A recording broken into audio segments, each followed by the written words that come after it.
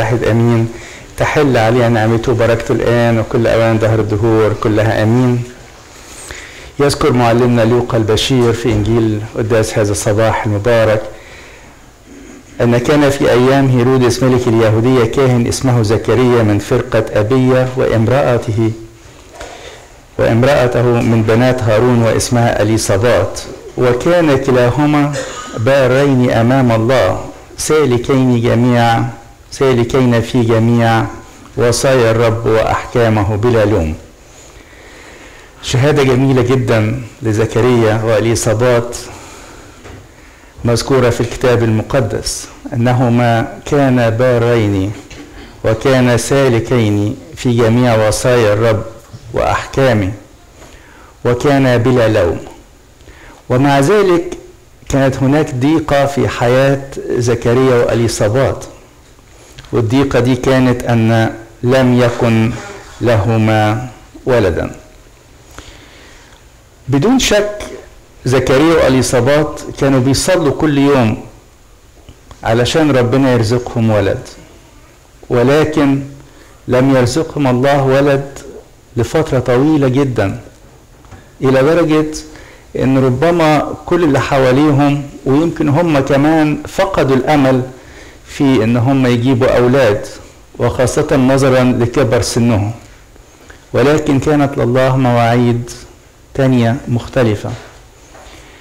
وكتير إحنا عارفين إن الله بيستجيب إلى الصلاة ولكن استجابته أحيانا بتكون في حاجة في الاستجابة بتكون بطريقة من ثلاثة إنه بيستجيب على طول أو إنه بيستجيب بعد فترة أو بيكون الإجابة بتاعته لا الطلبة دي مش مناسبة ليكم. ودي تعتبر استجابة أيضا استجابة بالنفي. مش معنى كأنه بيتجاهل الصلاة ولكن بيجيب بالنفي إن الطلبة دي مش صالحة للإنسان اللي بيطلبها. كتير بنعلق على الموضوع دون ونركز عليه ولما الإنسان بيجد أن الله لم يستجيب لصلاته لمدة بيرجع يتذكر موضوع زكريا وإليصابات أو يتذكر موضوع إبراهيم وسارة أو يتذكر موضوع حنا أم صموئيل وخلافه ويقول يمكن ربنا لسه ما مش هيجيب طلبتي دلوقتي أو يستجيب إلى صلاتي دلوقتي لكن يمكن بعد شوية.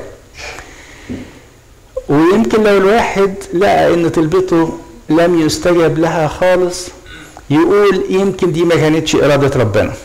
عادة دول الحالتين اللي إحنا بنفسر عادة يعني بنفسر بيهم عدم استجابة الله لصلاتنا. بس الحقيقة في حاجة تالتة أخطر من الحاجتين دول. يعني إذا كان لم يستجيب الله لأنه الطلبة لا تتنا... لا تتناسب مع إرادة الله أو لم يستجب الله لأن الطلبة هيستجب ليها بعد شوية. دي حاجة كويسة. اتليست عارفين إن ربنا يستمع إلى صلواتنا ويستجيب إليها حتى لو كانت الاستجابة لأ وحتى لو كانت الاستجابة بعد شوية.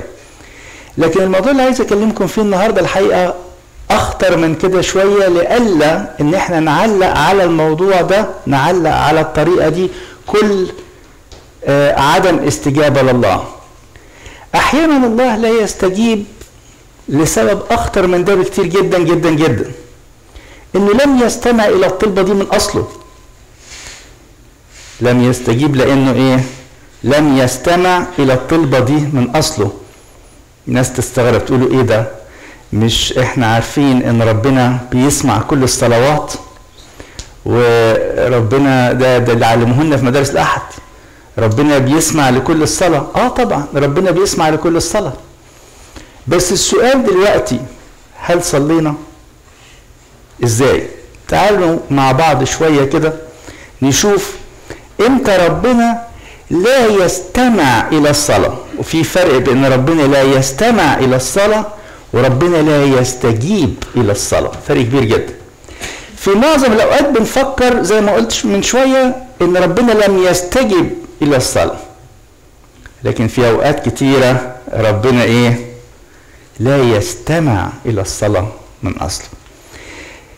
من أول الحاجات اللي بتخلي ربنا لا يستمع إلى الصلاة إن إحنا نفسينا في وقفة الصلاة بتاعتنا بنكون so distracted بحاجات تانية إلى درجة إن إحنا ما نكونش مركزين في الصلاة أصلا.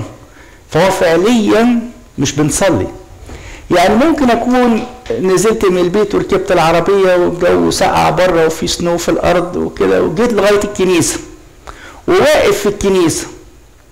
ولكني distracted بالحاجات اللي هعملها بعد الكنيسة بالحاجات اللي طالبينها من الأولاد بالحاجات اللي في البيت آه، بالسواقة وأنا مروح بالشغل بكرة الصبح بمشكلة عندي في البيت بمشكلة في مصر بمشكلة في الشغل مشاكل كتير. فطول ما أنا واقف في الكنيسة مخي شغال. و distracted مش قادر أركز في الصلاة. الاسم إني جيت الكنيسة والاسم إني واقف جوه الكنيسة ولكني so distracted ده ممكن واحد يكون distracted بإيه؟ بالتليفون بتاعه. كل شوية يبص على text كل شوية يبعت تكست طب ده بيصلي؟ آه من وقت للتاني آه، أول ما يلاقي أبونا بيقول يا أبانا الذي في السماوات أبانا الذي في السماوات ليتقدس اسمك. هل هو صلى حاجة؟ ما صلاش. وعشان كده الصلاة بتاعته دي لم يستمع إليها ربنا لأن هو أصلا ما صلاش. ممكن يكون ردد كلمات مع المصليين في الكنيسة أو مع الشمامسة أو مع أبونا ولكن هو فعليا ما صلاش. فربنا لم يستمع إلى هذه الصلاة. ربنا لما جه يقول لنا نصلي قال لنا لازم تصلوا من غير ديستراكشنز قالها فين دي؟ في الموعظة على الجبل لما السيد المسيح كان بيتكلم عن الصلاة في إصحاح ستة في متى إصحاح ستة قال أما أنت فمتى صليت فادخل إلى مخدعك واغلق بابك وصلي إلى أبيك الذي في الخفاء وأبوك الذي يرى في الخفاء يجازيك على نيتك. يعني إيه ادخل مخدعك واغلق بابك؟ اغلق حواسك. اقفل كل مصادر ال distractions اللي ممكن تدخل لك. اقفل الباب عليك وقف انت وربنا وبس وصلي ده المسيح اللي بيقول لنا الكلام ده لو أنا واقف distracted طب لما يجي حد ويقعد ورا خالص في الكنيسة ويبقى مشغول بالعيال والعيال عمالة تجري حواليه والدنيا تضرب تقلب ويبص على كل واحد داخل ويبص على كل واحد خارج طيب بيصلي إزاي؟ أنا عايز أعرفها أنا كل مرة في القداس بقول يا جماعة اللي واقفين ورا واقفين ليه؟ أنا بقول لهم كده مش لأن أنا يعني مش الموضوع مش موضوع نظام ولا حاجة. الموضوع موضوع أنا عايزهم يصلوا وأنا عارف إن هو طول ما هو واقف ورا في ألف حاجة تعمل distraction أصل ال distractions نوعين. في distractions خارجية محيطة بيا وفي distractions داخلية تيجي من جوه. الديستراكشنز الخارجية يعني أنا واقف مشغول باللي حواليا واحد عدى واحد راح واحد جه عيل عيط. طبعا لو واحد معاه طفل أو واحدة معاها طفلة واقفة ورا علشان آه، لو الطفل عيط ولا حاجة كده دول ليهم عذرهم. أنا مش بتكلم على دول أنا بتكلم على الشخص اللي جاي وملوش أي سبب أو أي معنى أو أي لازمة إن يقف ورا. واقف ليه؟ أنت مش جاي تصلي؟ ما تدخل تصلي ما كناس فاضية لما تدخل قدام هنا أنت قريب من الهيكل قريب من الذبيحة قريب من الأيقونات تقدر تركز وتقفل كده عينيك ودانك وتغلق بابك. وتركز مع ربنا ساعتها هتصلي. لأن الصلاة اللي بتقولها ورا دي actually يمكن مش صلاة من أصله. طبعا مش الكل يمكن الكل يقدر يركز فيها. ال distractions الخارجية دي أنا in control أقدر أقفل تليفوني أقدر أقف في مكان هادي أقدر أغمض عينيا وما أشوفش اللي حواليا. دي حاجات خارجية distractions جاية من بره I'm in control وأقدر أركز عليها. لازم أدخل إلى مخدعي وأغلق بابي. أما ال distractions الداخلية اللي بتهاجمني من داخلي أنا فدي برضو ربنا بيقول عليها إيه؟ بيقول لما أتكلم على محبة الإنسان لله قال تحب الرب إلهك من كل قلبك ومن كل نفسك ومن كل قدرتك ومن كل فكرك. مشكلة الفكر دي مشكلة كبيرة جدا. الواحد يبقى واقف. هتكلم عن نفسي يعني. أبقى واقف جوه الهيكل. ويمكن قدام المسبح بصلي. وتلاقي الشيطان راح جايب أفكار في دماغي. تديستراكت دي حاجات من جوه. أنا ما فيش حاجة ت distract me من بره. الدنيا كويسة. مفيش حاجة. الهيكل قدامي. المذبح قدامي. واقف الذبيحه قدامي. واقف أصلي. مفيش distractions من الخارج. ولكن الشيطان ما يسكتش. يقول لي إيه؟ الفكرة الفلانية الموضوع الفلاني المشكلة الفلانية. ده distractions من الخارج من الداخل آسف. طب دي نعمل فيها إيه؟ دي الشيطان بيبعت أفكار لدماغك exercise بسيط كده تدريب روحي بسيط. اعملوه لأن أنا بقع في المشكلة دي ولسه من أسبوعين لما اعترفت قلت الكلام ده لأب اعترافي قلت له ببقى واقف جوه الهيكل أنا بعترف قدامكم كلكم أهو علشان ربنا يغفر لي الخطايا دي. ببقى واقف جوه الهيكل وأحيانا دماغي تشت في أي موضوع في أي حاجة في أي فكر. خطية كبيرة جدا. فاداني تدريب حلو بديه لكم دلوقتي. قال لي كل ما تجيلك فكرة صلي من أجل هذه الفكرة. كل ما تجيلك فكرة صلي من أجل هذه الفكرة. يعني أنت واقف تصلي في الكنيسة وعندك حد مريض أو بكرة في عملية لحد من أحبائك أو ليك أو خلافه.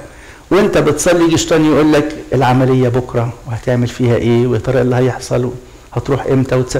الفكر got distracted تعمل إيه؟ تصلي من أجل العملية دي. يا رب حولت الفكر اللي بي distract you لإيه؟ لصلاة. يهرب الفكرة على طول. أصل هو الشيطان بعد شوية يقول لك إيه هو أنا كل ما أبعت للراجل ده فكرة يحولها؟ ده أنا علمته الصلاة. هو ما كانش بيصلي. أنا كل ما بعت له فكرة يحول الفكرة دي لصلاه بقى بدل ما يصلي شوية صغيرين بقى بيصلي طول الوقت. لا أبعد عنه أحسن. طريقة للجهاد ضد الشيطان. تقول لي طب هو الشيطان يا ابونا معقول يكون بيهاجمك جوه وانت واقف في الهيكل وانت واقف قدام ذبيحه أقول لك الشيطان ده جريء جدا وما عندوش يعني أي اعتبار لأي شيء. ده أنتوا فاكرين في قصة أيوب يقول الكتاب كده كان ذات يوم أنه جاء بنو الله الملائكة جايين ليمثلوا أمام الرب. واقفين قدام العرش الإلهي وجاء الشيطان أيضا في وسطهم. الشيطان بكل جرأة يجي في وسط كل الملائكة اللي متجمعين عند ربنا وأمام الله نفسه. وداخل كده بكل جبروت يعني. ما هو ما يختشيش الشيطان. فاللي خلاه يعمل كده قدام ربنا مش هيعمل كده في الكنيسة. ده هيعمل كده في الكنيسة. تقول لي يعني الشيطان يحاربني جوه الكنيسة؟ الشيطان هيحاربك جوه الكنيسة. ده أحلى وقت عند الشيطان يحارب فيه المؤمنين جوه الكنيسة. هو عايز يشوفهم هم هيصلوا انه هيحاربهم في العالم بره. هم already مدوشين في العالم بره. لكن هو يحاربهم يوم ما يقفوا يصلوا ساعة ما يقفوا يصلوا أو جوه الكنيسة أو جوه الهيكل أو هو رايح يتناول. هو ده الوقت اللي يحلى الشيطان قوي إنه يحاربنا فيه. بيحاربنا فيه بالمحاربات الداخلية ال distractions الداخلي دي. وأنا اديتكم النهارده مفتاح الحل تعملوا إيه. في أي لحظة تكون فيها أنت في مكان مقدس سواء في مخدعك بتصلي سواء ماسك الاجبيه بتصلي سواء في الهيكل بتصلي سواء في الكنيسة بتصلي وتلاقي أي فكرة جات لك دي مش جاية من أي حد غير الشيطان بيحاربك. ترشم علامه الصليب وتصلي من أجل هذه الفكرة وربنا ينصرك على الشيطان. من ضمن الحاجات الأخرى أو الأسباب الأخرى اللي بتخلي ربنا ما يسمعش الصلاة خالص إحنا قلنا الحاجة الأولى إن ربنا إيه؟ إحنا ما صليناش أصلا. إحنا ديستراكتد والكلام اللي بنقوله ده بس قاعدين إيه نكرر كلام كده لكن إحنا مركزين ولا فكرنا ولا حاجة مركزة في الصلاة. فبالتالي ربنا ما سمعش الصلاة ده خالص. الحاجة الثانية الصلاة الظاهرية. الصلاة الظاهرية. يعني أنا متفق مع أب اعترافي أصلي كل يوم صلاة باكر. أمسك الأجبية وأفضل أصلي أصلي أصلي عمال أقول كلام وخلاص. ولا أنا فاهم اللي بقوله ولا أنا مركز في اللي بقوله ولا أي حاجة. أنا بس عمال أشوف علشان عندي ميعاد مع أب اعترافي بعد كام يوم فأروح أقول له أنا مواظب على صلاة باكر. فعمال أكرر كلمات وخلاص. دي صلاة ظاهرية. واحد مشغول قوي في الكنيسة باللحن أو بدقة اللحن أو بحسن الصوت أو بخلافه واقف آه الاسم بيصلي لكن هو في الحقيقة إيه؟ صلاة ظاهرية. واحد في الكنيسة بيردد مع الشمامسة لحن معين وبيقول بشفاعة والية الإله. ولا هو مركز في والدة الإله ولا مركز في طلب شفاعتها. بس واقف يقول بشفاعة وواقف.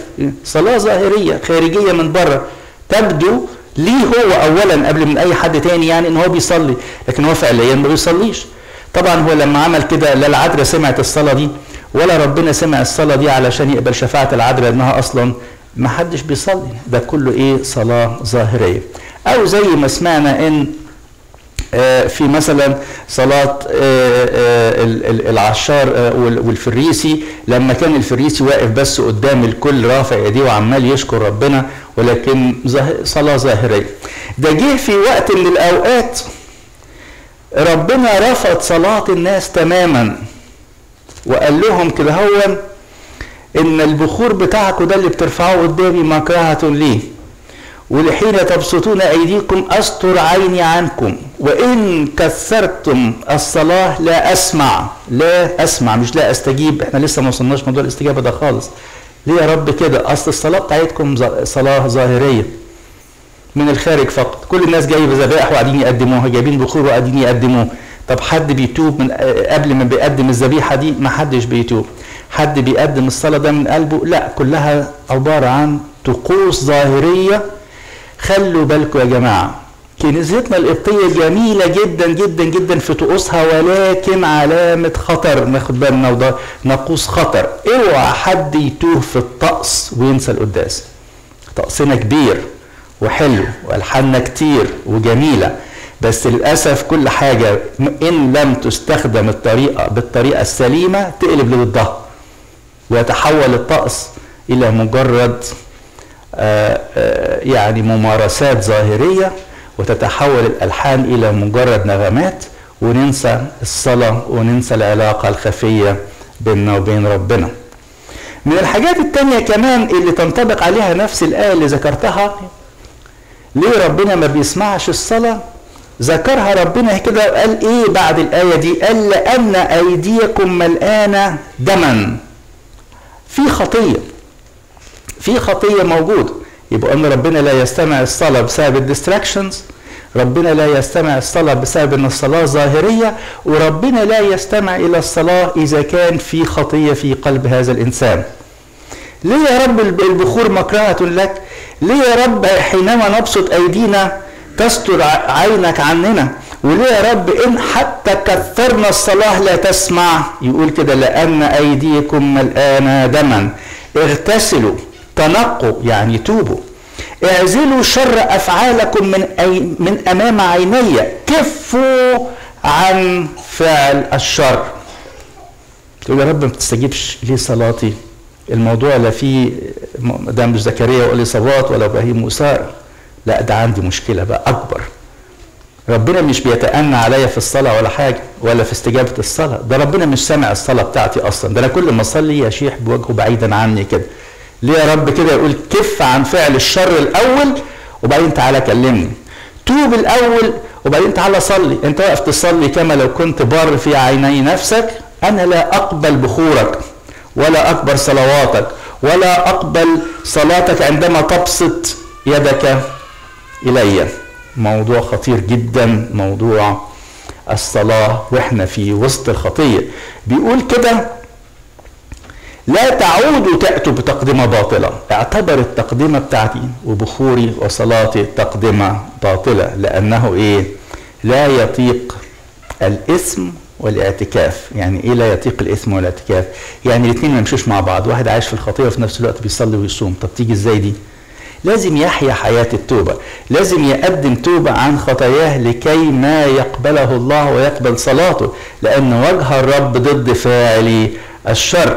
يقول كده ربنا عن بعض الخطايا المميتة اللي ممكن إنسان يكون بيحيا فيها وهو مش أخد باله منها واقف يصلي كل يوم. هذه الخطايا منها خطية الكبرياء على سبيل المثال. يقول يقاوم الله المستكبرين. اخضعوا لله اتضعوا قدام الله فيرفعكم. عايز ربنا يرفعني لازم أتضع أمام الله. لازم أعيش حياة الاتضاع لأن حياة الكبرياء بتفصل بيني وبين الله. الخطية حائط سميك جدا بين الإنسان والله وخاصة خطية الكبرياء لأن دي خطية الشيطان نفسه. كتير مننا يحيا في خطية الكبرياء من غير ما ياخد باله. كلنا فاكرين نفسنا متواضعين. طب نيجي نختلف مع واحد في رأي في حاجة تحصل إيه؟ تظهر خطية الكبرياء. قول لواحد كان غلطان ويشوف هيعمل إيه. هو فاكر نفسه متضع قوي. فاكر نفسه مفيش ولما تيجي تكلمه في منتهى الاتضاع لغاية ما تقول له إيه؟ لا بصراحة يا فلان أنت غلطان في الموضوع ده. يو الدنيا خربت خلاص. أنا غلطان؟ انت اللي غلطان وستين غلطان. إيه الحكاية؟ راح فين الاتضاع يا جماعة؟ أمال إيه الحكاية؟ اتفضل حضرتك. لا اتفضل حضرتك ونقدم بعض و... إيه الحكاية؟ لا أصل أنا متضع اتضاع بس كده يعني قدام الناس يعني لكن جوايا في خطيه كبرياء كبيرة قوي في ذات ضخمة جدا. خلوا بالكم يا جماعة من ضمن الحاجات اللي بتبلوك صلاتنا وما توصلش ربنا هذا الكبرياء. لا يمكن. طالما في كبرياء ما فيش صلاة واصلة لربنا فيش صلاة تطلع من سقف البيت حتى بتاعي خلاص. انتهينا على كده. الصلاة دي مش واصلة لربنا never mind انه إنه يستجيب. هو مش سامعها أصلا. من الخطايا الأخرى اللي بتخلي ربنا ما يسمعش حتى لطلباتنا هي خطية الإيه؟ الرياء. إن الإنسان يكون في حياته يحيا في رياء. قال متى صليت؟ اعمل إيه؟ لا تكن كالمرائين. ليه؟ لأن المرائين أنا مش بسمع صلاتهم أصلا. المرائين يحبوا أن يصلوا قائمين في المجامع وفي زوايا الشوارع لكي يظهروا للناس إن هم أبرار. الرياء بيفصل صلاة الإنسان على الله وتخلي الملائكة مش قادرة حتى تشيل الصلوة دي وتطلع بيها على ربنا إنهم عارفين إنها مش صلوة. ده بس بيصلي كده رياء يعني. ومن ضمن الحاجات آخر نقطة هقولها من ضمن الحاجات اللي بتفصل صلاتنا عن الله تماما عدم الغفران. عدم الغفران. أي إنسان لا يغفر لأخيه مهما كانت الخطيئة ومهما كان الإساءة اللي عملها هذا الشخص. أي إنسان لا يغفر لأخيه صلاته غير مقبولة قدام ربنا. مش أنا اللي بقول الكلام ده. قال متى وقفتم تصلون فاغفروا إن كان لكم على أحد شيء. أنت هتقف تصلي؟ اغفر الأول أنا مش هسمعك قبل ما تقف تغفر. متى وقفتم تصلون؟ إنجيل معلمنا مرقس الاصحاح ال11 متى وقفتم تصلون؟ فاغفروا إن كان لكم على أحد شيء لكي يغفر لكم أيضا أبوكم الذي في السماوات زلاتكم وإن لم تغفروا أنتم لا يغفر أبوكم الذي في السماوات أيضا زلاتكم بتصلي ليه بقى؟ ادخل نام أحسن. ادخل نام وريح ما هي كده كده الصلاة دي إيه؟ ملهاش قيمة يعني. خلاص طالما هي مش مقبولة مش مقبولة نام أحسن. انام أحسن يا ابونا بتقول لي؟ طب قول لي جاهد في الصلاة حاول تقف غصب عنك. أقول لك لا. أصل حتى لو وقفت غصب عنك وأنت ما عندكش نية الغفران الوقفة دي زي قلتها. ملهاش لازمة. أنت بتضيع وقتك. ربنا مش سامع والملائكة مش هتاخد الصلوات دي ترفعها anyways. يبقى إيه لازمتها؟ علشان تقف قدام ربنا لازم تكون عندك نية الغفران. حتى لو مش قادر تغفر تقف قدام ربنا بنيه الغفران تقول له إيه؟ يا رب إديني قلب أقدر أغفر. واغفر لأخوك قول له خلاص أنا رب قدامك بتعهد أنا مش هجيب سيرة الموضوع ده تاني. أكن الموضوع ده ما حصلش. أنا بغفر يا رب. وكل ما الشيطان يحاربك بعدم الغفران تغفر تاني وتاني. لو إحنا بنطلب من ربنا الغفران ودي طلبتنا الأولى دي طلبتنا الأولى. لو ربنا ما غفرناش خطايا وادانا العالم ده كله ماذا يفيد الإنسان وربح؟ لو ربح العالم كله وخسر نفسه. أنا بكسب نفسي بطلبة واحدة بس طلبه الغفران عشان كده بنصلي في الكنيسة عشرات المرات يا رب ارحم يا رب ارحم يا رب ارحم. ليه؟ يرحمنا ليه؟ عشان يغفر لنا خطايانا. ما هو بدون مغفرة مفيش ملكوت. إحنا عايزين الملكوت يعني لازم خطايانا تتغفر. بدم المسيح المسيح عمره ما هيغفر خطايا الواحد ما غفرش لأخوه. يا بنضيع وقتنا في التدين ده يا جماعة. يا نكون صريحين مع نفسينا ونقول خلاص أنا مش ممكن أشيل في قلبي ضد واحد أي حاجة مهما عملها. ربنا يقول لي وأنا كمان مش هشيل لك حاجة. يعني أنت كإنسان غفرت لأخوك وأنا ما غفرلكش؟ ده حتى لما نقف قدام ربنا نقول له الكلام ده. نقول له يا رب أنت وعدت. أنت قلت كده أنت قلت كده. إحنا برب متمسكين بوعدك. إحنا غفرنا لإخواتنا فإحنا يا رب بنطالب بالغفران إحنا كمان نتكلم بقلب بقى. مش بنتكلم أنا عشان إحنا كويسين إحنا بنتكلم بقلب عشان إيه؟ عشان إحنا طمعانين في محبة ربنا وواثقين في وعوده. انت وعدت يا رب عمرك ما هتخلف وعدك. فأنا يا رب واقف قدامك وأقول لك أهو يا رب مفيش قلبي عمري ما كان قلبي شايل إساءة من حد. عمري ما كرهت حد. عمري ما ما غفرتش لحد. بغفر لكل الناس. ده إحنا بنصليها في أبانا الذي كل مرة. وسمعنا عظات كتير قوي قوي عن المعفو عن موضوع اغفر لنا خطايانا. حاجات كتيرة جدا ممكن تخلي ربنا ما يسمعش حتى صلاة صلاتي. بنطلب من ربنا ونقول له يا رب ادينا يا رب القوة إن إحنا نمنع أي ديستراكشن سواء داخلي أو خارجي. ادينا يا رب إن تكون صلاتنا صلاة حقيقية مش صلاة مظهرية من بره. ادينا يا رب إن إحنا ننقي قلوبنا من الداخل من كل الخطايا ونعيش حياة توبة حياة توبة جميلة ما يكونش فيها كبرياء وما يكونش فيها آآ آآ تظاهر بالصلاة وما يكونش فيها أي شيء يا رب في قلبنا ضد أي حد. إدينا رب نحن نغفر للجميع علشان يا رب تكون صلواتنا مقبولة أمامك وتكون مستجابة لإلهنا. كل المجد في كنيسته الآن وكل أمان دهر الدهور كلها. آمين.